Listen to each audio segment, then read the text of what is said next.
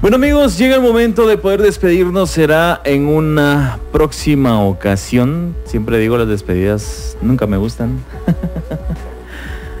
Pero hay que hacerlo, hay que hacerlo y de verdad gracias a cada uno de ustedes por tanto cariño, eh, muchas cosas demostradas acá en Flix, al ritmo de tus sentidos. Em, cambios, cosas se vienen para la radio, para cada uno de nosotros como personas y solamente me queda agradecer el cariño de cada uno de ustedes que con cada mensaje, con cada llamada que hacían hacia la cabina, reportando su eh, sintonía, reportándose ahí con nosotros.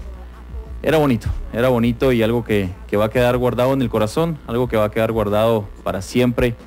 Y pues, si Dios lo permite, en una próxima ocasión estaremos escuchándonos una vez más en esta o en otra frecuencia, no lo sé.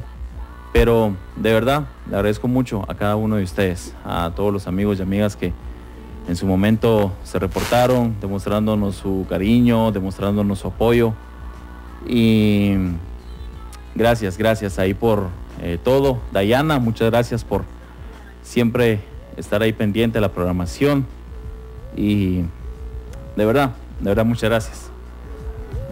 Y bueno, en mis redes sociales pueden seguirme como Kevin Chon, ahí vamos a estar publicando unas cosas y será una próxima ocasión que estemos compartiendo con ustedes en, no sé, en otra frecuencia más, pero solamente les puedo decir que hasta aquí hemos llegado, hasta aquí nos trajo el destino, hasta aquí llegó todo y pues muchas gracias, muchas gracias por, por todo a ustedes, por tanto cariño y, y bueno, no tengo más palabras para expresar mis sentimientos y se quedan cortas las palabras, de verdad.